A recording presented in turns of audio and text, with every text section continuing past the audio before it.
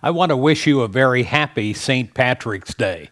First of all, I want you to know that I tried to wear green today. You know, like a man, I remember very vividly that I have a green tie, and I remember very vividly what I paid for that. I paid a lot of money. It was a good tie. It was a green Ivy League tie. Well, I searched and searched and searched, couldn't find it anywhere in my closet. Now, I'm not sure what happened to that tie. I uh, imagine it died a death like so many of my expensive ties of the Italian restaurant spaghetti sauce death. And, uh, but I don't remember that. I only remember what I paid for it and purchasing it and wearing it the few times that I did over the years on St. Patrick's Day. St. Patrick's Day is a wonderful day. It is a, a, celebration of a man and his life and what he did in Ireland. But he was not Irish. He came from England, from a small town, from aristocratic parents that were Christian.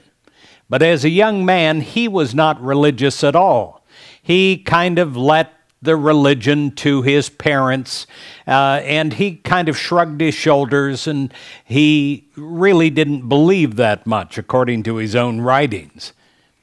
At the age of 16, he was out in the fields uh, herding the sheep, and he was taken as a prisoner and put on a ship and sent to Ireland as a slave.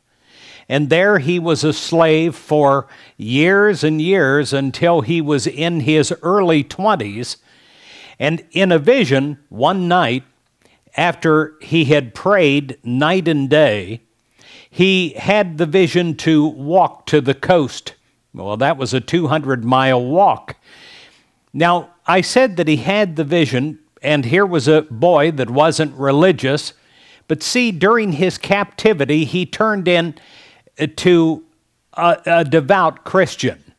He, like so many of us, have used adversity to become the best that we could become, something that we would not have become without the adversity. And he prayed, he said sometimes a hundred prayers during the day, a hundred prayers at night. He would pray before the dawn, according to his own writings, in essence, he prayed all the time. And he became this devout, this person that was no longer a slave. See, it's not what happens to you outside of you, it's what happens inside of you. And so he went to the coast. He found some sailors there that were British that took him back to England and back to his family. And there he continued his faith and eventually became a priest. And as the story goes, at night, one night, he had a vision of an angel. And the angel said, I want you to go back to Ireland.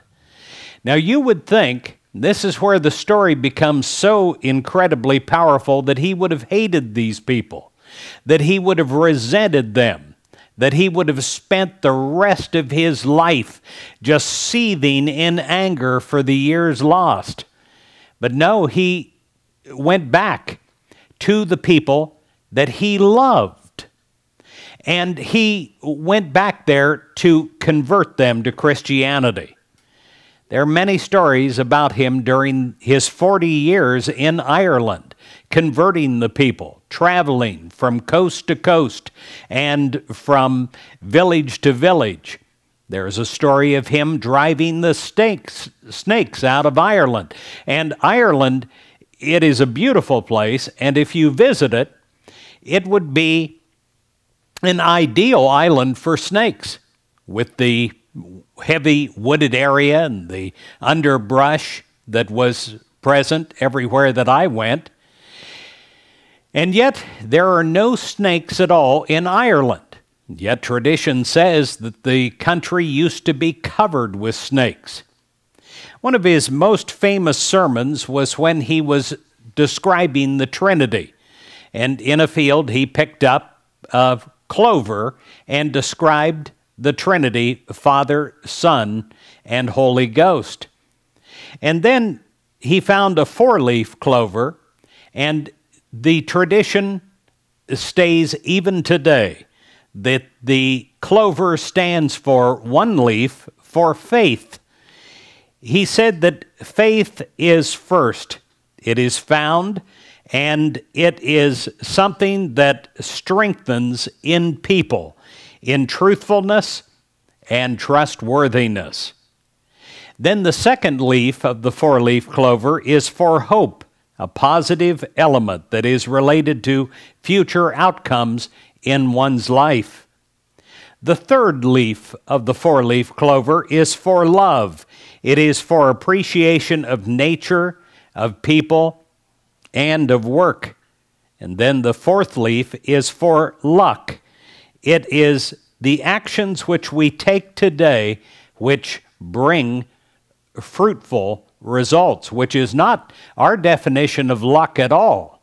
It is something that, with grounded in God, we have the desired outcome all the time. And so, this uh, saint that is now called Saint Patrick, the writings call him Patrius. Uh, and Patrius was a name given to him. It meant literally the father of the citizens. And so for 40 years, he converted people to Christianity. His former captors, he made his flock. And he died, according to tradition, on March 17th, 461. And that is why we celebrate St. Patrick's Day on that day every year. So many times, we, like St. Patrick, are held captive somewhere. It could be a work environment that's not very nice. It could be uh, a situation in life, a problem that we find ourselves in. And instead of that destroying us, it makes us stronger.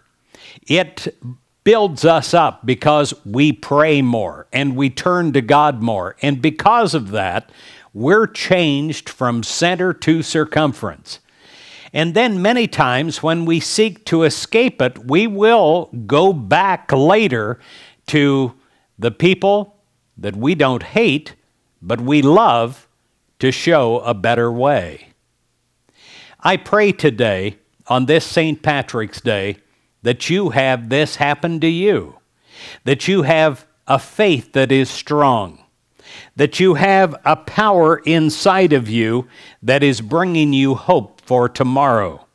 That you have a love, not just a love of the imagined future, but a love of today and even a love of those people in your life that have held you captive to problems and situations that are not that agreeable to your soul in the moment. And then that you have luck, Christianity type of luck, that's not based on chance, but based on the actions of the other three to bring the desired result. In Jesus Christ's name, amen, and happy St. Patrick's Day.